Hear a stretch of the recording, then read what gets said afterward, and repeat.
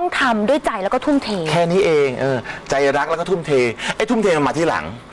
พอเรารักเราชอบเดี๋ยวมันจะโอ้โหพลังมาจากไหนก็ไม่รู้อะค่ะ เหมือนคุณอะ หรือว่าคุณผู้ชมรักใครสักคนหนึ่งอะโอ้โหพลังมันเปี่ยมล้น อยากจะไปหาเขานะ จะจะซื้อดอกไม้จะทำยังไงให้เขารักเราชอบเราโอ้โห คิดวางแผนแผนการจะสร้างบ้านนู่นนี่นั่น โอ้มันทำพลังมันมาเยอะมากอยากเรารัก ทำให้ดีที่สุดอืมนะใช่คะเพื่อให้เขารักเราอืมแล้วเราก็มีความสุขกับใช่สิ่งที่เราทำด้วยใช่นะคะเพียงหัวใจก็คืออยู่ที่การรัก ในสิ่งที่เราทำพอรักปุ๊บพลังมันจะมา ค่ะครูคะแต่มีบางบางทีนะคะ อย่างคน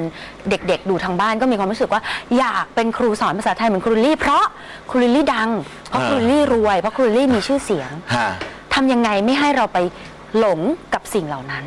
คือมันแค่เปลือกคุณจะบอกว่าทุกวันนี้คือทุกมีความดังชื่อเสียงความรวยเนี่ย สุดท้ายแล้วชีวิตยังไม่มีความสุขเลย และหลายคนที่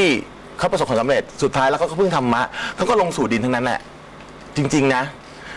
ทุกคนอะ เราจะบอกได้คือคุณยังไม่ถึงขั้นเนี้ย คุณก็จะรู้สึกว่าอุ้ยมันหอมหวานชื่อเสียงเงิอยานกทจะองไปให้ถึง เออพอมาคุณมาถึงจุดนี้แล้วคุณจะรู้เองว่า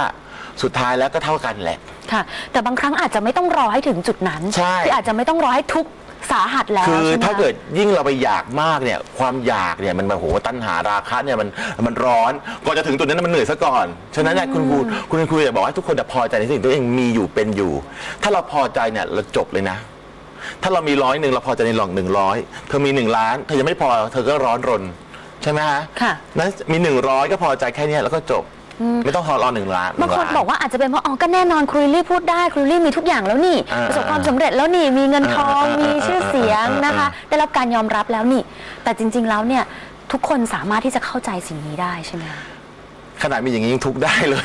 เออ ฉะนั้นเนี่ยก็ลองมีสักวันหนึ่งอะหรือคุณจะรู้เอง คือคือคือท้าเลยนะเออท้าเลยว่าท้าเอเลอยเออ จริงๆแล้วสุดท้ายแล้วคำตอบไม่ใช่เงินทองชื่อเสียงเกียรติยศแล้วก็ทุกอย่างไม่ใช่คำตอบของชีวิตหรอกค่ะแล้วคุณจะรู้เองว่าชีวิต คุณมีต้องการอะไร อย่าไปเชื่ออย่าเพิ่งเชื่อครูเออ มีหนังสือนะคะที่ครูลิลลี่ได้เขียนไว้คือเลือกได้ไม่เสียชาติเกิดขอบคุณที่ช่วยนะะขายของ คืออย่างนี้ค่ะที่ที่อยากให้คุณผู้ชมเนี่ยได้เข้าใจจากหนังสือเล่มนี้ เพราะว่ามีคำหนึ่งที่สะกิดใจอาร์ตมากเลยคือคำว่าเหรอฮะเสียชาติเกิด ฮะ ซึ่งมาจากชีวิตของครูลิลลี่เองเลย ตอนแรกคุณนึกว่าคำว่าเสียชาติเกิดจะหมายถึงเกิดเกิดมาเป็นแบบนี้ แต่จริงๆ แล้วเสียชาติเกิดใช้กับทุกคนได้ คนเรากว่าจะเป็นคนได้หนึ่งชาติเนี่ยมันยากนะ กว่าจะพ่อแม่ปั้นมาเนี่ย แล้วถามว่าสุดท้ายตายไปเนี่ย โดยที่คุณยังไม่ทำอะไรให้รู้สึกสมกับที่คุณเกิดมาเป็นคนน่ะอย่างน้อยๆคุณครูว่าพ่อแม่สำคัญที่สุดที่ปั้นเรามาที่ทำให้เราเกิดมาเนี่ยตอบแทนท่านหรือยังเอาง่ายๆ ไม่ต้องไปถึงประเทศชาติบ้านเมืองเอาค่ะพ่อแม่คุณก่อน ดูแลท่านดีหรือยัง ที่ปั้นเรามาให้มีสองมือสองแขนเนี่ย เนี่ยสมกับชาติเกิดไหมค่ะ น้องอาร์ตไม่ต้องตาขอคลอ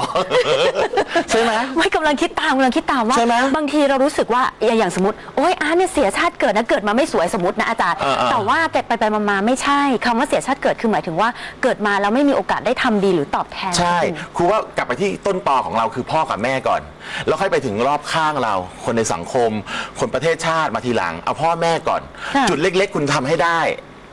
เนอะ ยิ่งคนรุ่นใหม่นะคะอืมยิ่งต้องปลูกฝังธรรมะโอ้โหยิ่งต้องเข้าใจธรรมะ คุณครูอยู่กับเด็ก ๆ แล้วเด็กไม่เหมือนสิบปีที่แล้ว 20 ปีที่แล้วเด็กมันหยาบขึ้น ใช้คำนี้เลยขอค่ะ คำว่าหยาบนี่คือไม่ใช่กริยาไม่วาใช่หยาบจาคายนะ ไม่ใช่หยาบคาย มโนหยาบ ขอใช้คำว่ามะถ้ามโนมันหยาบใจมันหยาบแล้วเนี่ย ทุกอย่างที่ออกมาการแสดงออกหรือการพูดจามันจะหยาบตาม ฉะนั้นนะเพราะเราไม่ได้โทษเด็กเราโทษสังคม เราโทษโลกใบนี้ที่มันเป็นแบบนี้อะทำให้หล่อหลอมเขาเป็นอย่างนี้ ฉะนั้นเราต้องสอนเขาฉะนั้นครูว่าเด็กสมัยเนี้ยสมองอย่างเดียวไม่พอนะมันต้องหัวใจที่สวยงาม ค่ะทำยังไงจิตใจเขาถึงจะละเอียดได้มากขึ้นถ้าเกิดจะเริ่มต้นวันนี้คะ ก็ปลูกฝังให้กับครอบครัว เราเราเป็นครูเราต้องช่วยกับพ่อแม่เขาค่ะ รัฐบาลต้องช่วยกันสื่อมวลชนต้องช่วยกันรณรงค์ถูกไหมอย่าไปเน้นนะโอ้จะมาสร้างนู่นสร้างนี่ไปอวกาศนอกโลกเอาสร้างคนก่อน ถูกไหมศิลธรรมจริยธรรมเนี่ยสำคัญที่สุด ไม่ต้องให้เด็กมันเก่งมากมายหรอกไอโอลิมปิกโอลิมปิกอะแค่เอาไปสอบสวยๆแต่ว่าไม่ต้องเน้นโอ้โหวิชาการอะไรมากมาย ความดีงามหัวใจของงดงามของเด็กอะแต่ก่อนครูไปเน้นสมองมาก ต้องเน้นตรงนี้อะถ้ามีตรงนี้ที่สวยงามนะเดี๋ยววิชาการรักเรียนหนังสือมันจะมาเอง ค่ะ รักดีมันจะมาเอง รับผิดชอบมันจะมาเอง เห็นสิ่งนี้ได้เมื่อไหร่คะครูจากที่ครูเองเนี่ยเคยพยายามจะให้เด็กเก่งเด็กเก่ง แต่วันหนึ่งมาพลิกมาคิดว่าเด็กต้องปลูกความความดี เพราะเราเริ่มเข้าสู่ทางเส้นนี้ไงเราถึงเออรู้ว่าเนอะเราช้าไปหรือแต่จริงๆเราไม่ไม่เสียดายชีที่ชีวิตที่ผ่านมาหรอกแต่หมายว่าเออเราตั้งสติได้แล้วเรามองโลกเป็นแล้วไง เรามองให้มันละเอียดทะลุแล้วไงว่าเออสุดท้ายแล้ว คนเราก็เท่าเนี้ยค่ะ อืม อยากให้ฝากกับคุณผู้ชมทางบ้านค่ะ ในการเริ่มต้นสิ่งใหม่ ๆ ที่น่าจะเริ่มต้นได้ทุกวัน คุณครูจะบอกว่าการเริ่มต้นชีวิตใหม่ไม่ใช่หนึ่งมกราค่ะ ทุกเช้าตื่นมานั่นแหละคือชีวิตของคุณ แค่นี้เองค่ะ นะคะ คุณยิ้มกับตัวเองให้เป็นก่อน บอกตัวเองแค่ว่าวันนี้ฉันจะมีความสุข คนรอบข้างคุณจะสุขตาม ที่ทำงานของคุณก็จะสุขตาม แค่นี้เองเอาวันต่อวันอย่าไปคิดถึงหรอกว่าโอ้โหอนาคต ปีหน้าชาติหน้าอะไรยังไง เอาวันต่อวันค่ะ เอาปัจจุบันให้มันดีที่สุดก่อน ค่ะ เริ่มต้นสิ่งดี ๆ ได้ เริ่มต้นมีความสุขได้ณตั้งแต่วินาทีนี้นะคะ และแม้ว่าคุณจะต้องเจอกับปัญหาไม่ว่าจะเล็กหรือปัญหาใหญ่นะคะ คุณก็สามารถที่จะมีสันติสุขและความสงบทางใจได้ แล้วก็ทำให้คนรอบข้างมีความสุขด้วยนะคะ วันนี้ขอขอบคุณครูลิลลี่มากนะคะ นี่คือทั้งหมดของสินสโมสรค่ะคุณผู้ชมท่านใดมีคำแนะนำหรืออยากให้เรานำเสนอเรื่องราวของคุณหรือของชุมชนติดต่อได้ที่เบอร์ 027902625ถึง7หรือที่ artclub@thaipbs.or.th ค่ะ หรือสมัครเป็นสมาชิกกับเราผ่านทาง Facebook พิมพ์ art ว่าคลับมักไทย PBS วันนี้ลาไปก่อน สวัสดีค่ะ ขอบคุณนะคะ